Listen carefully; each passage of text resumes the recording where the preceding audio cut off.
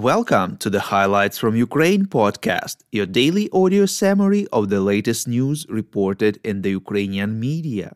If you like what we do and want to tip us, you can now do so directly to our PayPal.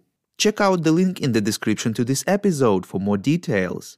And as always, you can subscribe to our Patreon, where we share stories of life in Ukraine in times of war. Our latest episode is the story of a local resident who saw the start of the war in Donbass. My name is Artem, and here is the news. For 242 days, Ukraine stands strong against the forces of the Russian invasion. Russian Defense Minister Sergei Shoigu made a series of phone calls to his foreign colleagues in which he accused Ukraine of preparing to use so-called dirty bomb, a conventional explosion laced with radioactive material, reports Ukrainska Pravda. It is known about the calls to the ministers of the US, UK, Turkey and France. According to Shoigu, Ukraine may use such a bomb on its own territory to blame Russia. This accusation was quickly spread by the Russian state media. Ukraine Defense Minister Oleksiy Reznikov said in response that, quote, every day the Ukrainian army liberates our land from Russian dirt. The thought of a dirty bomb is repulsive to us, unquote.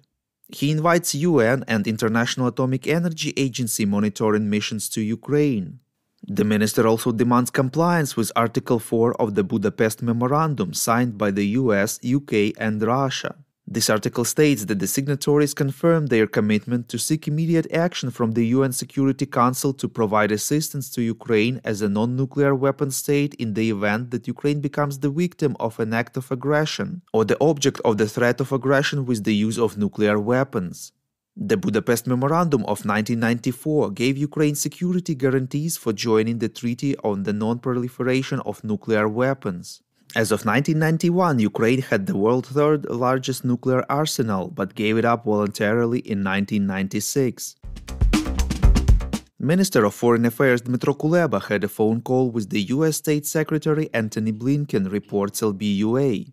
According to Kuleba, both sides agreed that dispersing the wave of disinformation about the dirty bomb, Russia may be looking for an excuse for a false flag operation. The minister stressed that Ukraine doesn't have any dirty bombs, no plan to acquire them. He added that discussed with Blinken how to strengthen Ukraine's air defense. According to the US Institute for the Study of War, Shoigu likely sought to slow or suspend Western military aid to Ukraine and possibly weaken the NATO alliance with his accusations, reports Hromadske. Russia needs that as it faces continued military setbacks and the likely loss of Western Kherson by the end of the year. The experts believe that the Kremlin is unlikely to be preparing an imminent false flag dirty bomb attack. They think Shoigu's claims to be part of a long-standing Russian information campaign in which Moscow has repeatedly claimed that Western states will help Ukraine conduct provocations. Also accused the Russian armed forces of using chemical, biological, or tactical nuclear weapons. Shoigu's claims likely do not represent Russia's preparations to use non-strategic nuclear weapons in Ukraine either, say experts of the institute. In his evening video address, President Volodymyr Zelensky said there is only one subject who can use nuclear weapons in our part of Europe, and it is Putin.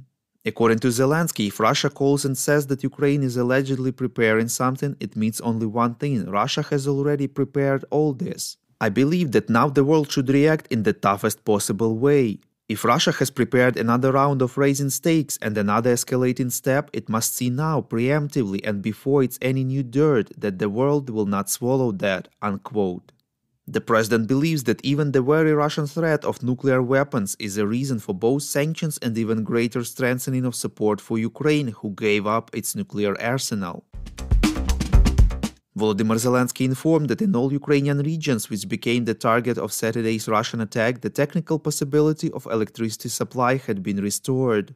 At the same time, the president added that blackouts still take place because there are not enough generation capabilities at the moment. Restoring energy facilities destroyed by the attacks is a much longer and more difficult task, said Zelensky. He again reminded about the need to consume electricity very consciously. The president asked local authorities to make sure that energy is not wasted, as now is not the time for bright shop windows and signs. The General Staff of Ukraine informs that Russian forces focus their efforts on offensive operations in the Bakhmut and Avdiivka directions, reports Unian. According to available information, Russia continues the training of a part of the mobilized personnel at the military training grounds. The Russian Su-30 fighter jet crashed in the Russian city of Irkutsk, reports Ukrainska Pravda. According to the local governor Igor Kobzev, the plane crashed into a two-story building. As a result, two pilots were killed, no casualties among the civilian population reported. Earlier, a Russian Su-34 fighter jet crashed into a high-rise building during takeoff in Yeysk, Russia. 15 people were reported dead. We call on you to demand from governments of your countries to impose the toughest sanctions possible on Russia and its citizens to stop their invasion of Ukraine.